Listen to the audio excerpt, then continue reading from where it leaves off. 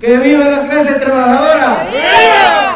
Son organizaciones sociales que piden un nuevo sistema de pensiones, tema que avanza a paso lento en la Asamblea Legislativa. Después de las reformas de 2017, esta vez plantean que el andamiaje previsional pase a ser público y que la actual ley se derogue y se cree el Instituto de Pensión Social. Se deroguen las leyes que le dieron vida a las AFP que se deroguen otras leyes de pensiones que nos tienen divididos y sectorizados y que se apruebe una nueva ley para un sistema de pensiones público, universal, solidario y de beneficio definido, que sea un sistema de reparto.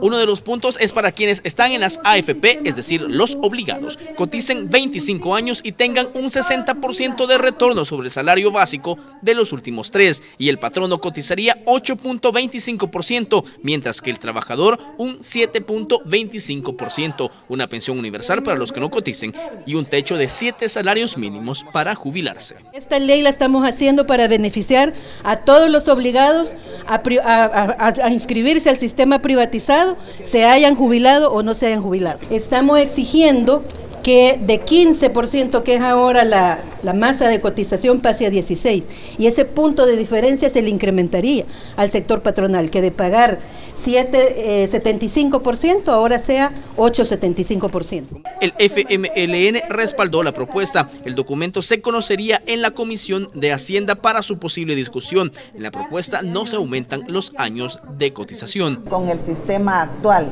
y es que el cálculo, los parámetros en términos de edad, de periodo de, cotización se mantiene, pero también se incrementa la contribución que deben de pagar los patronos y se solventa esas ausencias que actualmente tiene la ley en el sentido de que las mujeres y las personas en situación de incapacidad médica actualmente no les reconoce ese periodo cotizado aunque este documento apenas inicia su trámite en la Asamblea, una misión de la OIT, de acuerdo al ministro de Trabajo, haría estudios actuariales para proponer otra reforma al actual sistema.